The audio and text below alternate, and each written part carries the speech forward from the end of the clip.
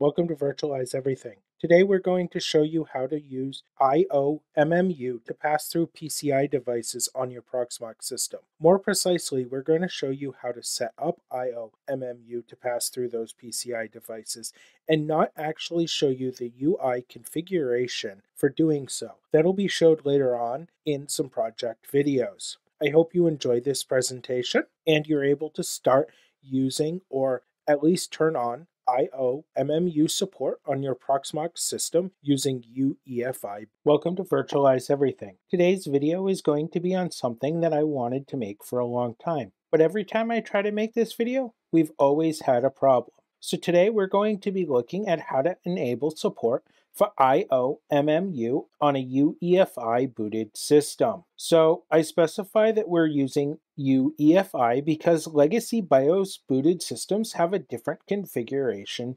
technique. Before we jump into the command line configurations for IOMMU, we want to remember to enable it in the BIOS. Everybody's BIOS is going to be a little bit different, and this particular picture is of a BIOS window on an Intel system.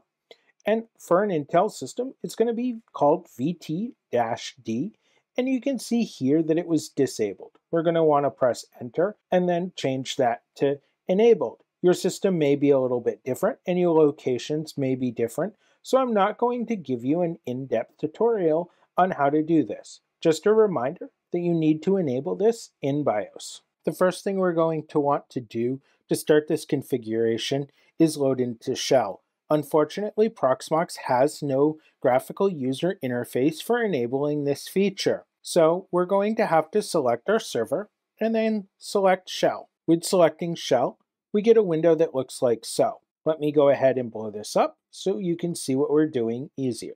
So now with the window enlarged, we can start entering commands. The first command we're going to need to enter is a nano command this command will be telling us to open a file called cmd line. And during this, all of your boot options are enabled on one line. As you can see, we have nothing configured here. And since we're using Intel, we're going to add the line Intel underscore IOMMU equals on. If we were using AMD, we would enter AMD instead of Intel. Now we'll press Control X, Y, and Enter to go ahead and save this file. And then we can use the Proxmox boot tool and we can refresh this. And we'll use that command proxmox-boot-tool space refresh.